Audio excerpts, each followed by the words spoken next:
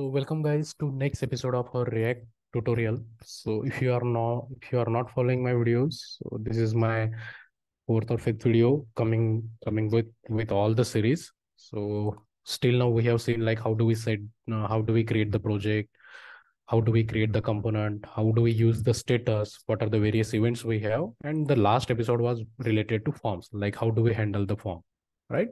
So simple employee form we had created and same form we have uh, shown in the table also. Now, next thing is props. Props is nothing but properties, right? So how do we use properties in kind in React that we are going to discuss and many uh, some scenarios also we are going to see.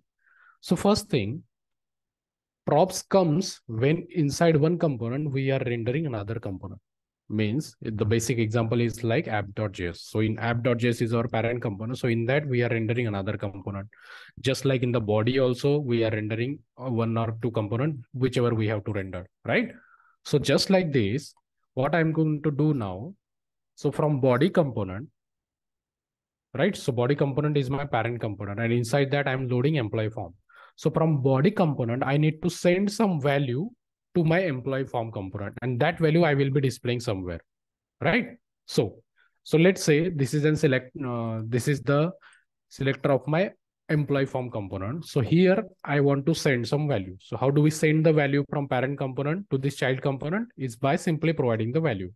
Let's say page title. This is my variable equal to double quotes and I'm passing the value. Let's say welcome to props session, right?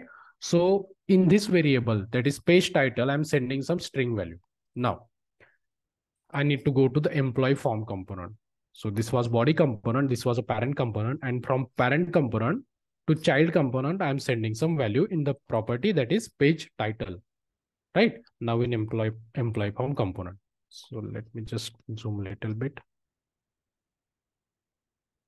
Now from parent component, we have sent the value. So that we need to receive in the child component. So for that, in the employee form component, in the round bracket, we need to write props, right? So let's say I need to display whatever the value I'm going to get in this page title. Let's say above the container, let's create h3 tag. And inside that, I will try to access the value props dot whatever the type property I am sending that is page title. So I will get all the properties in form of objects. So props dot page title I can print. So let's save and check. It's not compiled. Let me check. Yeah, so it's compiled. So you can see in the employee form component, I'm going, I'm able to see whatever the text I have sent from the parent component that is body component. So this is a very simple example, like how do we use the props? Props are nothing but properties. So I told you like in the employee form, for this employee component, I'm sending some properties. That is, first is page title. Now let's try second property, page subtitle is equal to, let's say detail examples, right? Which is I'm doing spelling mistake. Detail examples. So for this employee component, now I'm sending two properties. First is a page title and second is a page subtitle. Now page title we have displayed. Now I need to show page subtitle. So as I told you, like we can display that by using uh, consider props is nothing but an object. So whatever the property we send from the parent component that we can access by using dot operator. So now in second paragraph, I will try to access props dot my exact property name that is page subtitle. Let me copy and paste it over here. So you can see detail example also visible in my employee form. So this is how prop work. So this is very basic example. Now consider you need to create an reusable component that you are going to use over multiple component. Let's say a simple example of UL and LI, right? let's say you need to create an ul and li component where you will just pass the collection of whatever the array you have and that will be get that will get display into your li right so let's create a component first will be ul li scenario right so let's create a component. Let me just close all this just like topics folder i will create a folder. Reusable. Okay. In reusable component, uh, reusable folder, I will create a first component that will be my ul my ul li just the name i'm giving or let's keep it as simple my ul okay sorry dot js missing dot js now Let's create a functional component that is with RSC. So you can say my UL component is created.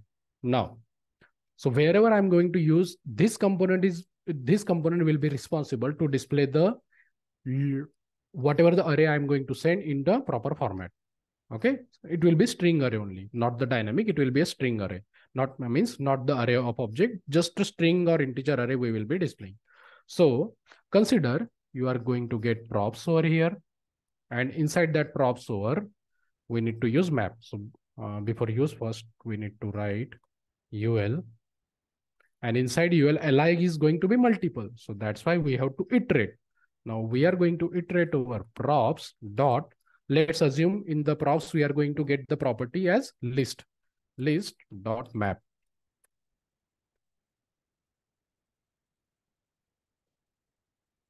Item return and return we have to write li and we will print item. So now if you see, this is my reusable ULLI component. So wherever I am going to use this component, I just have to send the array uh, to this property uh, with the property list, right? So now this component I'm going to call into my employee form component. So before this paragraph, I will class my UL. So you can see suggestion is there. I'm just clicking on it. Okay. Now, what I'm going to do is, what was the property name? List. So list, this will be my, now let's, let me just create an array. Let's see if we have the array. No. So I will just create an simply array. Let's say state list is equal to square bracket MAH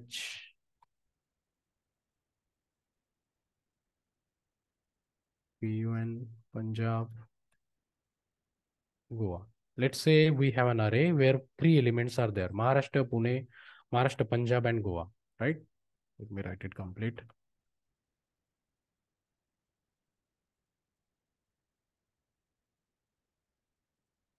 And Goa, right? So I have an array in that, I have three elements, Maharashtra, Punjab, and Goa. Let's say I have a requirement that I need to display the state list in the ULLI. So in my application, I have a component which is reusable and I can send array data to that and that component will display the data into ULLI form, right? So component I have loaded. Now I just need to send property that is list over here. Now to this list property, I'm going to send an object. So we have to, if we have to directly send the value we can directly uh, provide the string or the integer value in the double quotes, right? But now we are going to send the variable. So that why we have to enclose that with the curly braces, right? So now if I save that, let's see, you can see ULLI is there plotted over here, right?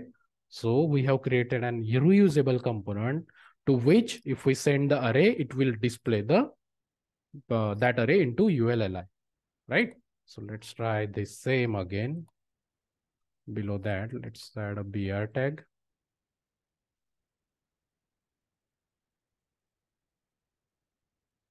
And let's try to create another array that will be city list.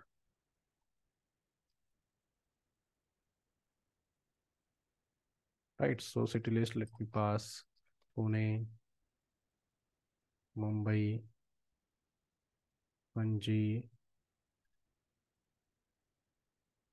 Thane. right? So now I have, now I have another variable city list. Again, I need to display the city list into ULLI. So I just, I can just use my component and send the property to that. So let's save and check. Now we should have two UL and LI. See, first UL was responsible to show the list of state and second LI for to display the city list, right? So we have successfully created an reusable component, which is uh, which object which objective is to display the list of items into ULLI. Now, consider the same example. We can create reusable table also. Okay, that will be little bit hard, but let's just try that so that you will have two scenarios ready where we, we are going to use the ultimate user properties, right? So now next objective is we are going to create reusable component in React.js. So let me just close this. So now in reusable, I will one more, uh, I will create one more component that is my table dot js. Let's create a component that is RSC, enter. Now, consider you need to create a reusable table. So what things you are going to provide, right? Let's see. In table, what we have? Headers means columns and data. What kind of data we are going to show, right? Just two things are things, two things are going to be there. Let's first design a normal table. Then we can see what things we are going to need table. Then we normally have t head. And inside that tr and inside that th will be there. And let's say we have name, some, some things will be there, right? Let's say city, email, and contact number, right? This is my t head. This will be constant. Then we have t body, just the static content I am designing for now, then we will make it dynamic. And inside that you will have multiple TDs, right? Just like this, you will have our table structure. Now, imagine if you have to make this dynamic. So what things you are going to need first, this won't be repeated. And this one will also be repeated. We have to iterate over TH and we have to iterate over TD also.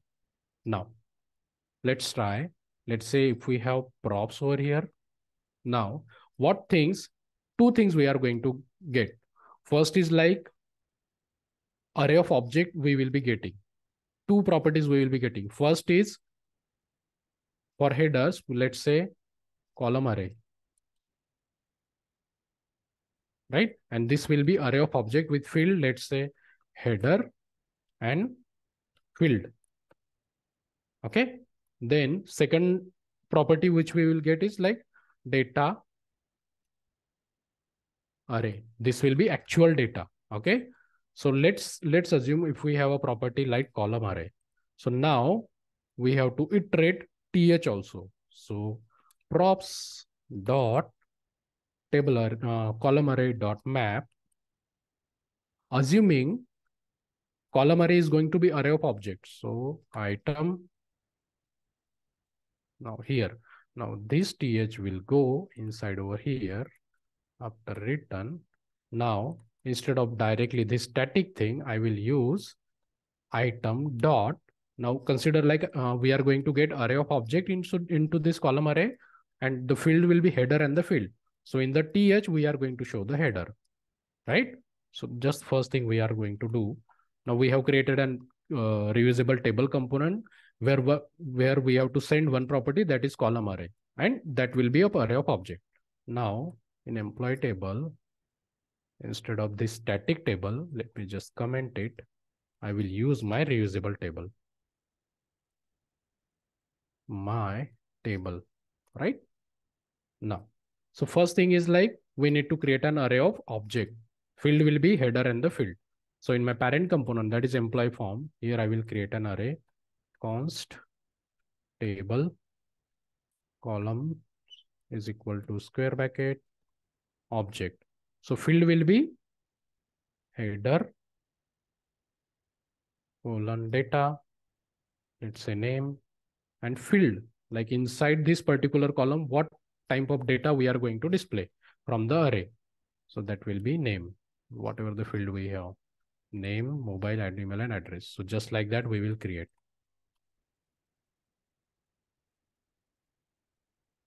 Just close this. Right? So name, mobile, email address. Mobile, email, address. Right? Now we just need to provide the field. Name is the first field, then uh, a mobile, email, what is the actual field name from that array of object, right? Now this column array, we will send it over here. Let me just minimize this. Now for this particular my table component, one property is there. That property is column array. So here we have to send data to this column array. Now we are going to send object, right? We don't need bracket, right? Now this table column array, we are going to send as a parameter over here. Let's try to save it. Now wish, okay, error is there. Let me see what is the error. Wait.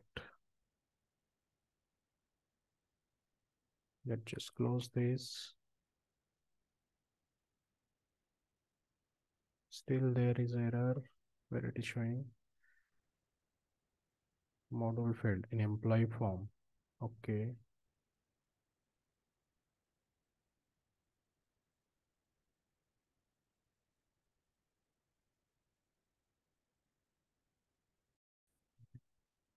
Closing tag was not properly closed, so it will be here.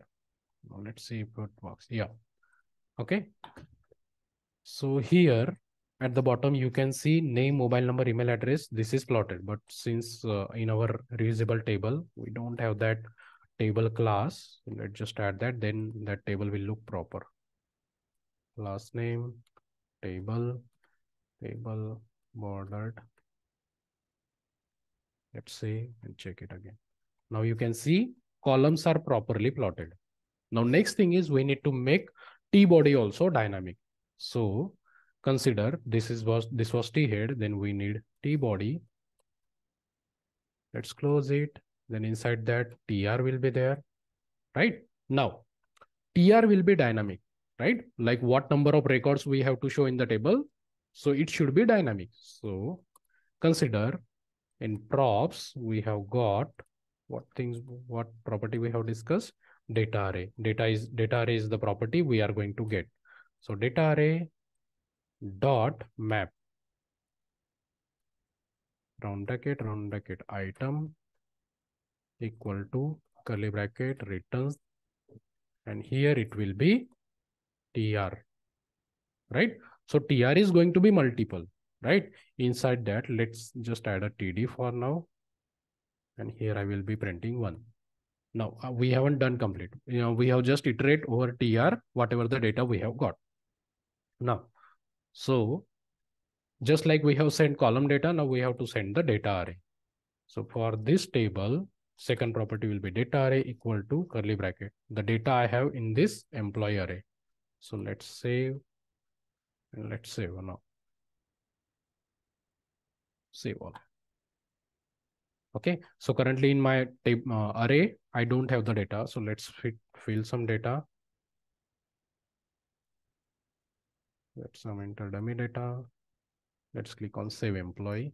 So you can see I have got TD over here. TR is there because only one record is there. Now I will change Rahul, save employee. So you can see two TRs have been successfully plotted. Now I just need to display the particular data into particular column. Now for that, first thing is done, like what number of data I have got, that much TR I have plotted.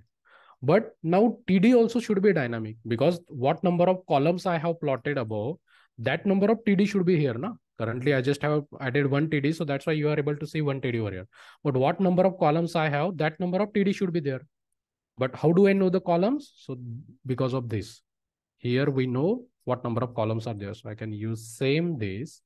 Let's instead of this, what I need to do, I need to use props dot column array because inside column array, we know like how many columns are there. So again, map property, round bracket, round bracket, item, sorry, this will be now header equal to, because item is already there in the data array, right?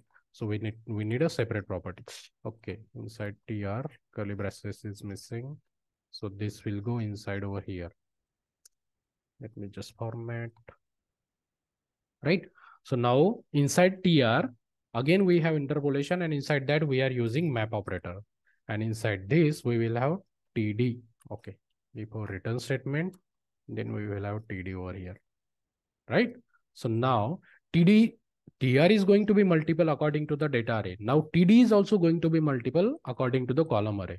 Now here we need to display the particular data. So item is nothing but object. From object, we need to display particular field value, right? So that we can access using square bracket and the header. Now header is an object, array of object we have, right? So as we have discussed in this, field is the property. Okay, F-I-E-L-D field. Spelling mistake was there. Let me just correct it. So now in the field, we get to know like from our particular object, which property we need to access. So this will go over here, header dot field. So let me save and check. So you can see below that particular column, we are going to get to see the particular data. So with these simple easy steps, we have created reusable table in React.js using simple props only. Got it? So hope this video was helpful to you and props is almost a very easy concept in React. So you might have got it. First thing we have did is like in employee component, we have tried to access the uh, page title and page subtitle property, which we have sent from the body component because employee form component is loaded into body component. So this was a string data we have sent and that we have accessed in the employee component, right? props we have added over here and props dot particular page title. In props, we get the object, right? So that's why we can access this using dot. Then we have created ULLI component. So you can see this was the component which you have created. UL was static. Inside that, LI was dynamic, right? So we were iterating on the list. Now in the employee form component, we had created array. You can see string array we have created and that we have passed over to the list property, first state and then city. So likewise, you can say state was there and the city list was there. Just like that, UL and LI, we have created reusable table also. So this was a component for reusable table. So inside reusable table, T head, TR was there and TH was dynamic, right? So what number of columns we have? So that was dynamic. Then in T body, TR should be dynamic. So that's why first TR was in the data array map property. Then inside TR, TD will also be dynamic because what number of columns we have displayed in the header, that number of TD should be displayed. So that's why TD is also dynamic. And now in TD, we are trying to access item. Item will have an object. From that item, we are trying to display the particular field value. So that header dot field, right? So this is how we have completed our reusable table component in React.js. So that's it with this current video. In next video, again, I will cover one more topic please then till then please do subscribe and like my videos